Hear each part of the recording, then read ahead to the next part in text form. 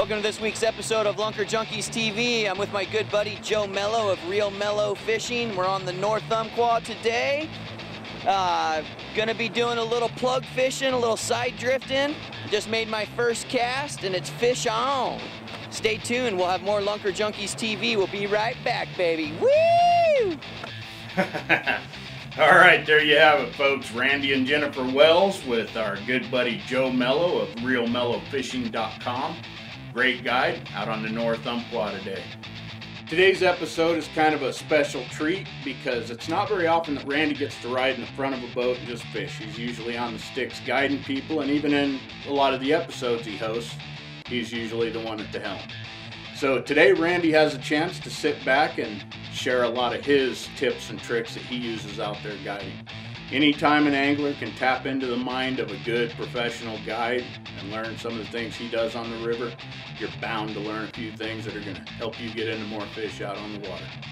Uh, Joe Mello is one of the best guides in the Pacific Northwest, along with John Geyer. Randy Wells, of course, I believe is just about as good as it gets. And uh, got some great tips and tricks in store for you today. Both Randy and Joe are going to tell you about some of their methods and some of the things they're doing, as well as the right gear for the right applications, some of the products we use, and how to properly use them.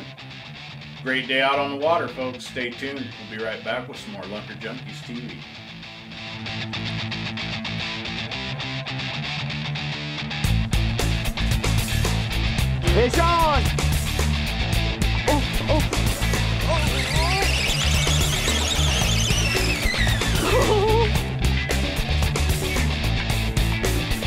Fish on! Salmon shark! Salmon shark! That's what you come to Alaska for right there, baby.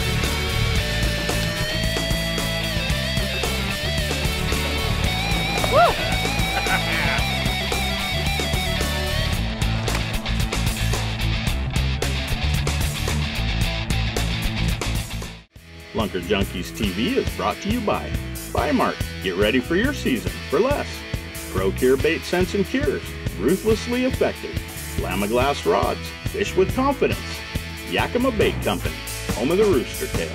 Shasta Tackle. Inventor of the Sling Blade. Bait Buttons. Because presentation matters. BNR Tackle. Inventor of the Steelhead Holy Worm. Northwest Sportsman Magazine. Chock full of tips, tricks, and useful information. Fish Seward, Alaska, and Oregon Fishing Adventure. Power Drifter Boats, The Real Tech, and Hypnotic Customs Design and Graphics.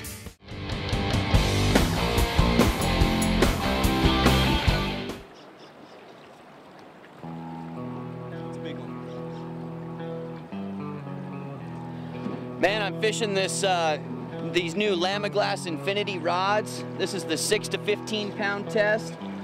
Such an awesome, fun rod, super sensitive. This is a this is a really, really nice, nice fish. Nice fish. You know, the, the North Umpqua is known for quality, big native fish, no hatchery fish. Just an amazing fishery. My man Joe Mello putting me on them. You know, for one guy to uh, go fish with another guy, that's got to tell you something right there.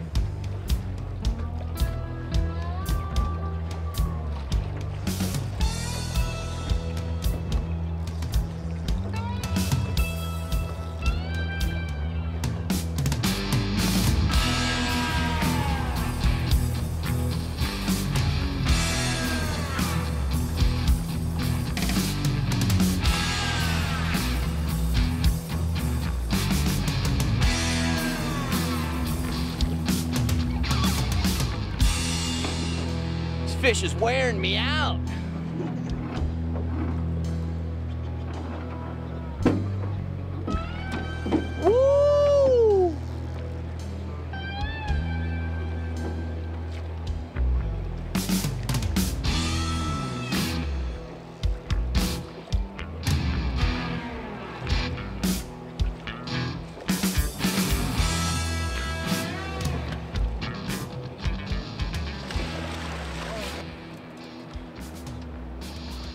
Nice big buck, beautiful colors here on the North Umpqua. I'm gonna get him in the water and get back at him. right back at it, guys. I got interrupted, I got teased, I had a, I had a sniffer. That's another great part about the right rod. You know, it's gonna show you the little action. Did he swim up? Here's the plug, work, work, work, work. Did he come up and tail bump it? What did he do? I guess we'll never know. But what I was gonna say is, as a full-time fishing guide, and as the son of a fishing guide, and my uncle was a fishing guide, and, and uh, back in the day when my dad first started guiding and my uncle was guiding, you know, uh, you back bounce for steelhead and you pulled plugs. That's what you did. Rolling shot, side drifting, that didn't exist. Now, side drifting in southern Oregon and, and northern Oregon, a lot of other rivers, side drifting, bobber dogging, boondogging, those have all really taken over for good reason. They can cover a lot of water and it's a great technique if you want to pull plugs, and I highly, highly recommend it, you know, I always have my plug rods in the boat.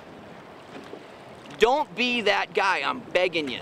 Don't be that guy. You pull up in a spot that you want to plug and there's boats in there and they're side drifting, go with the flow. Keep side drifting. You know, when we pulled up to this spot, everybody was side drifting. That's what we do. Jen got one side drifting, the boats moved on, we pulled out the plug rods, we got one on a plug.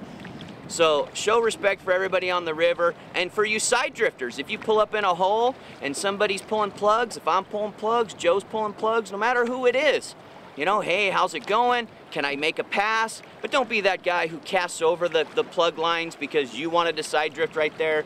Don't be the plug guy to let your plugs out when somebody's side drifting. We all got to work together. You know, it, it, Oregon, Alaska, Washington, everywhere I go, there's a little bit of conflict, old school, new school that, that, that, has no place in the boat. It's got no place on the river.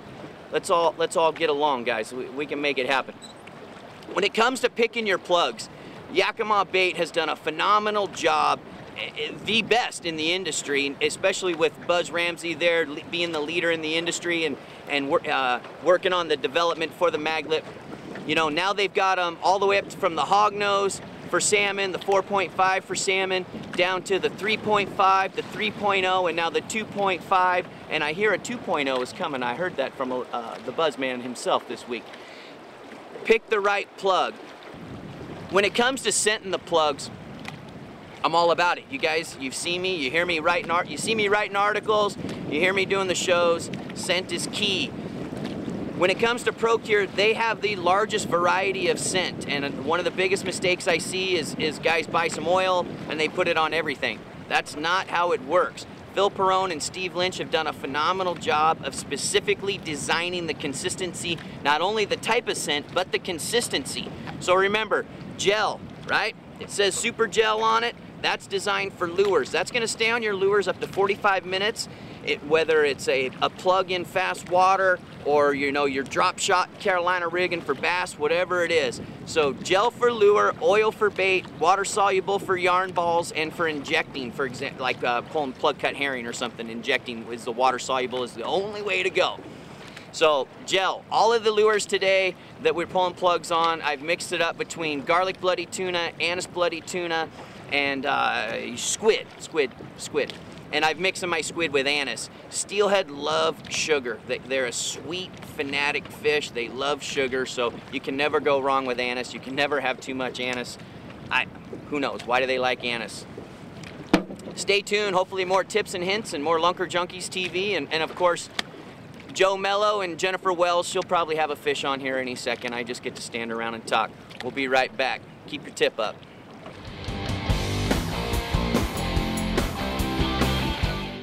Hey guys, welcome back to Lunker Junkies TV. Like I told you, we're on the North Umpqua. I got the great Joe Mello behind me. Right now we're pulling some plugs. Got the camera mounted up on the dash. Just wanted to talk to you a little bit about what we're doing. Couple things, uh, fishing the maglip. This is the 3.5 right here. I like to sometimes alter my plugs. I have caught a lot of fish with them straight out of the package, but I have found with both my steelhead and my salmon plugs, if I push the hooks back a little bit from the plug, I don't get as many short strikes, you know, where it's bump bump and then he's not there, bump bump and he's not there.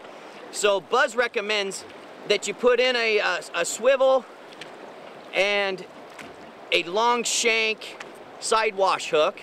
So some of the plugs I'll run with a single Siwash and then some of them, like what I've got on right now, I'll run with a double Siwash.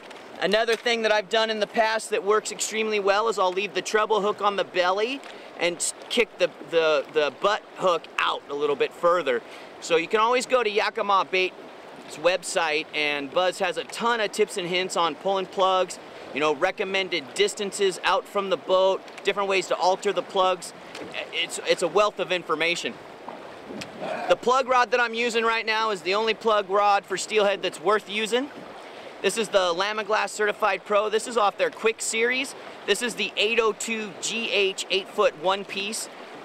Man, they don't make one rod for everything, okay? There's no such thing.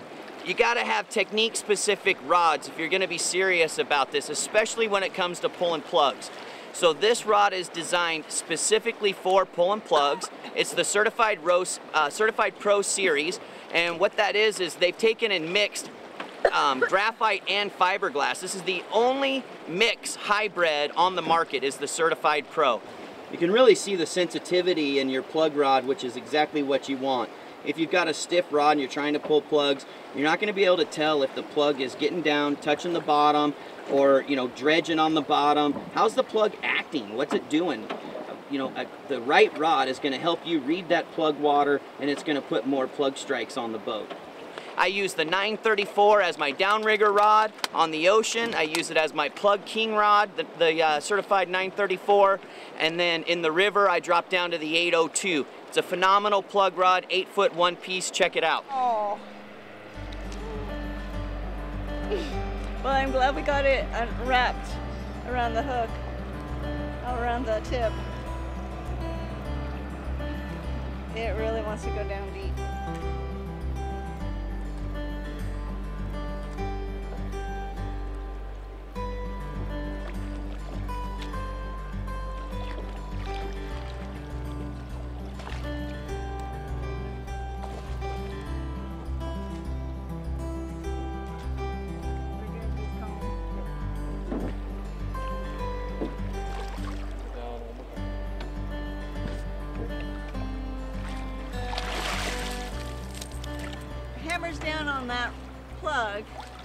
And I set the hook and I wasn't fully ready for it so I dropped the rod and the fish came unbuttoned.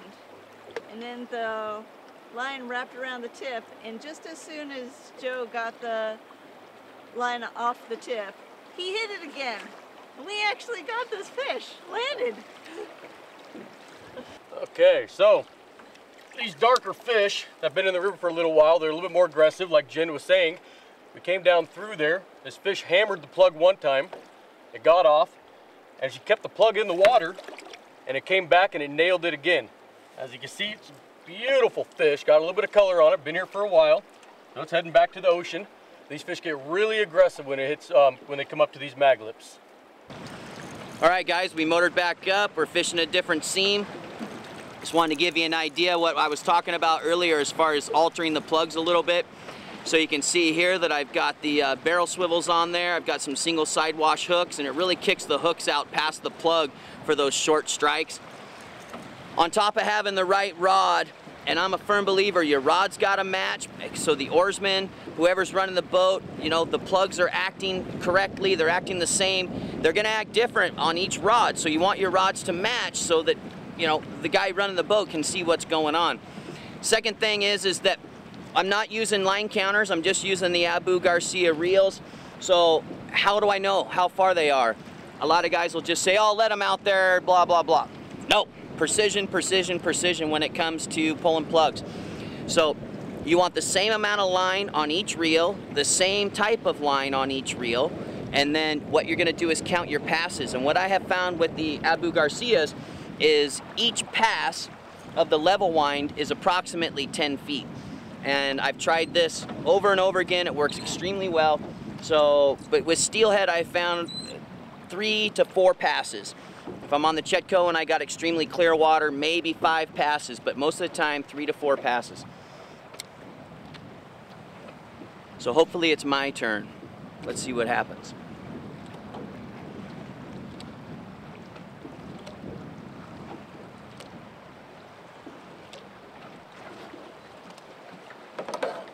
So if you've got two different reels that you're gonna use for plugging, then the second go-to technique is go out into the street, at pull your line out with your tape measure at 30 feet, take a Sharpie and draw a line on your, uh, um, take make a mark with your Sharpie at 30 feet, then another one at 40 feet, another one at 50 feet. And then what I tell my guys is let the lure out to the first Sharpie mark, let the lure out to the second Sharpie mark. That's always tried and true for me and guys will say, well, what if you break off? What if you have a tangle? Well, what I end up doing is I kind of mark them in 10 foot increments. It's always worked worked well for me. But the best thing I have found is matching rods, matching reels, matching line, matching distances out.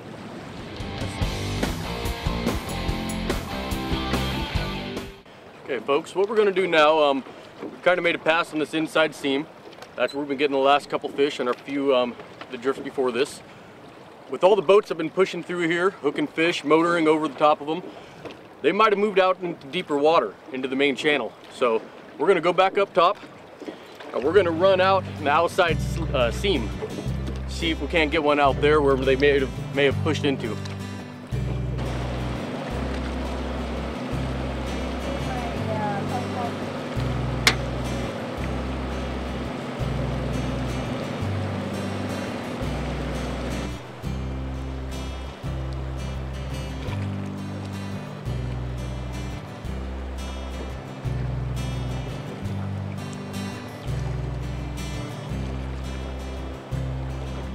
I just got one on a plug.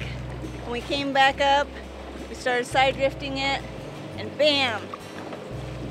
We're in, we're in them. Round two.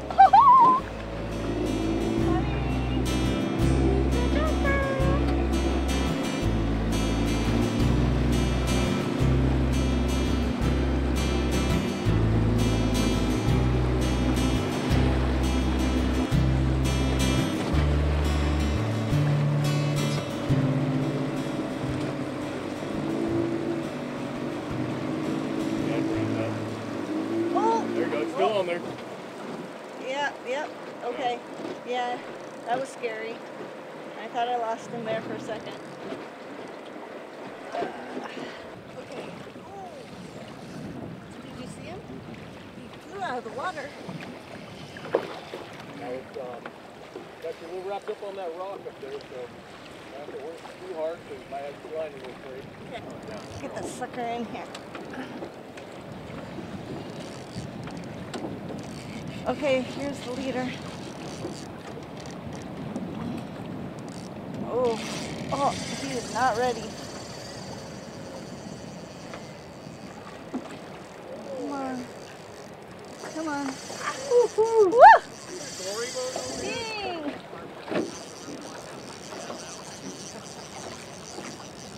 Woo!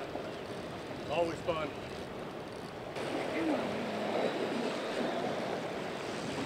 Oh, come on. Come back over here.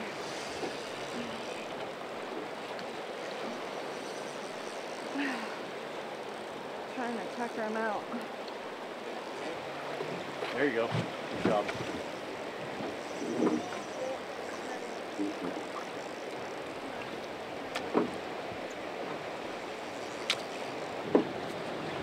Get it in the net, Jen. Go ahead and grab the net and hold on to the fish. Ready? Yep. Go ahead. Nice and easy. Woo!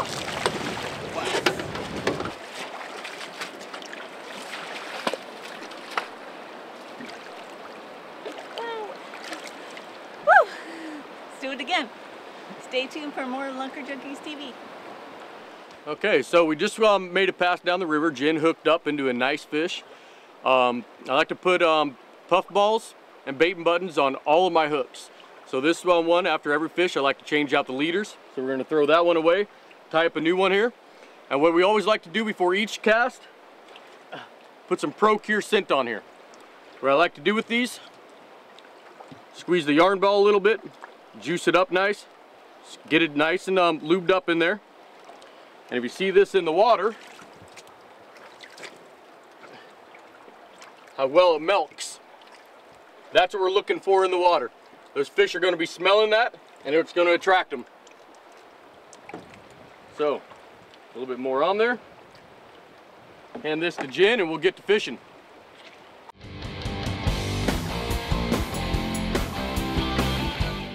Thanks for watching. Hope you guys learned something. Great day out on the water for Jennifer and Randy and Joe Mello. Uh, wasn't a super hot day. River was high. Joe really had to work for him. The river was running about 7,000 CFS. Most of the guides, Joe Mello including, likes, likes to fish at around five or six. Uh, so Joe had to work, but uh, he found them as he as he usually does. So the hot plugs out there today were the Maglips. Randy talked quite a bit about those. Uh, these little maglip plugs, I like the 2.5s, 3.0s. 3.5 on a strip, I'm trying to get down a little deeper. Uh, work pretty good. Those are my main three sizes for steelhead. Uh, don't forget to think about putting that Siwash hook on the back to get it out there, especially if they're short striking. We've talked about that before and it will help a tremendous deal. Other than that, they do work good right out of the package. Randy was using the ProCure Super Gel on his plugs today, as well as the water soluble on the yarn balls for side drift. And also don't forget to check out, as I mentioned last week, the new Super Sauce. Now these you can put right on a bait of eggs, right on a sand shrimp, it'll stick to bait. And this, this new Super Sauce also works on, on lures and in yarn balls pretty well. Excellent product, check that out. And for those of you that want to cure your own eggs, maybe you don't have your own recipe, maybe you have a little trouble with the powdered cure, it can be a hassle, especially at camp or if you're on the road. Check out ProCure's new liquid cure. Dynamite product. Totally easy. Put your eggs in a dish, pour some of this on, mix it around a little bit, let it sit four to six hours, pull it out, dry it on a rack according to the, the consistency you want. It doesn't get any easier than this, folks. Dynamite product. We use this liquid cure a lot. Works excellent. A lot of times side drifting, you need to put a puff ball on there for a little extra flotation. Don't forget to pick up your bait buttons. If you're gonna run puff balls as well as shrimp or a lot of different baits, bait buttons are key to holding that on there. Presentation does matter. This is a product that we find we have within arm's reach in our boats all the time now. Excellent product. Check out bait buttons. You know, with winter coming, don't forget to swing into your local Bi-Mart and check out those new drift boat covers we've talked about. Uh, drift boat covers can be hard to find. Bi-Mart's got them for you now. Great price, good heavy-duty canvas drift boat covers, along with some other new products, all at the great low prices you've come to expect from Bi-Mart. Swing in there and check that out. We'll see you next week. Who knows where we'll be.